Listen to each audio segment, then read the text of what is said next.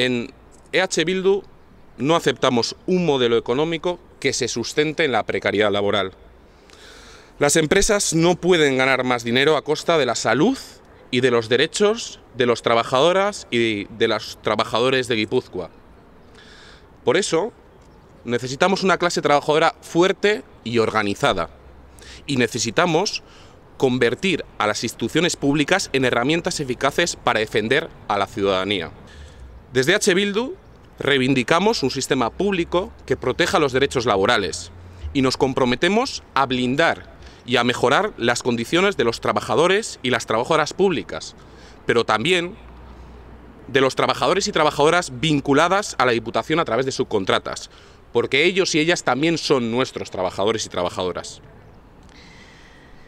Repito una vez más nuestro compromiso ante la ciudadanía. EH Bildu pondrá siempre a los trabajadores y trabajadoras de Guipúzcoa por encima de las élites económicas. Pondremos siempre las condiciones laborales dignas por delante del afán de lucro. Y además pondremos la Diputación Foral de Guipúzcoa al servicio de los trabajadores y trabajadoras, al servicio de la lucha contra la precariedad laboral y social. Porque las administraciones públicas están para reducir las desigualdades, para repartir el trabajo y la riqueza de nuestro territorio y para proteger el bienestar de los ciudadanos y ciudadanas. Es que ricasco.